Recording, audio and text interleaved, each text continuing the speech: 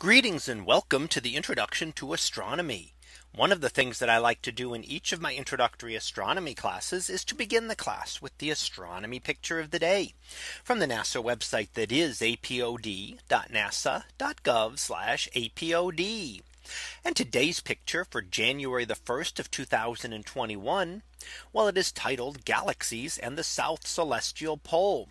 So what do we see here? Well, we see a number of objects prominently seen in the southern sky. And one towards the top of the image is the Southern Cross. And we can see the four stars that outline the shape of a cross there.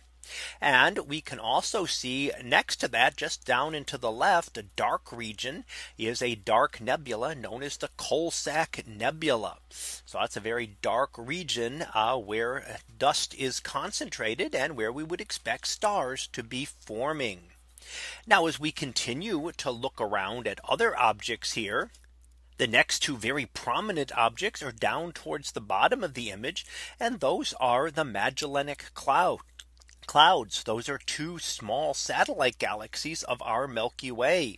And on the right, we see the large Magellanic Cloud with a little more structure to it and some very bright regions of blue young stars that have formed and a lot of pink hydrogen regions again also associated with star formation.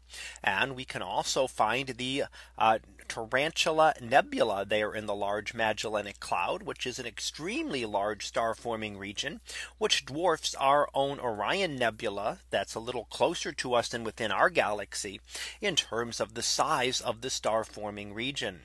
Now smaller is the small Magellanic Cloud off over to the left. Now it's also interesting because those are very obvious objects to be able to see in the southern sky. So if you are south of the equator, they are very easy to see naked eye objects. You don't need anything else to be able to see those or to be able to see the Southern Cross or the part of the Milky Way there stretching across the sky. However, one thing very hard to see also pictured in this image is the South Celestial Pole. Now in the northern hemisphere, we happen to be very fortunate right now that there is a relatively bright star located near the North Celestial Pole to be able to identify it. And that is the star Polaris, which is one of the brighter stars in the sky about the 50th brightest, but still relatively bright and easy to see uh, and happens to identify the North Pole because it's relatively close to it. There is a south celestial pole known as uh, Sigma Octans and it is located towards the central portion of the image here.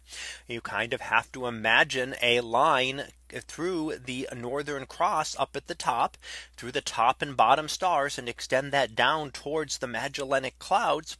And that would then pass very close to the south celestial pole. However, Sigma Octans is not a very bright star.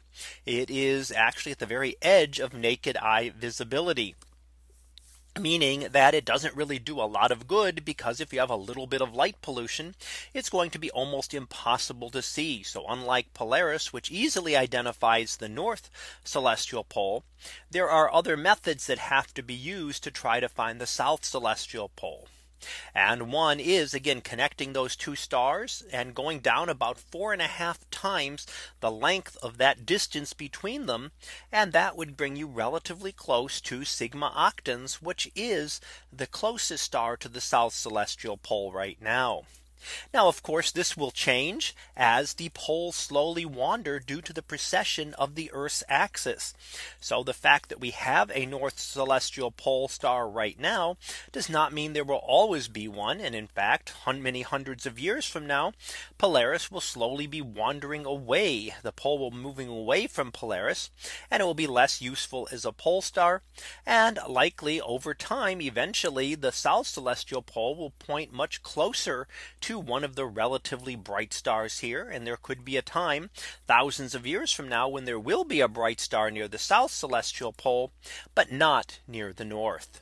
So that was our picture of the day for January the 1st of 2021. It was titled Galaxies and the South Celestial Pole. We'll be back again tomorrow for the next picture previewed to be Apollo's Muse. So we'll see what that is about tomorrow. And until then, have a great day, everyone, and I will see you in class.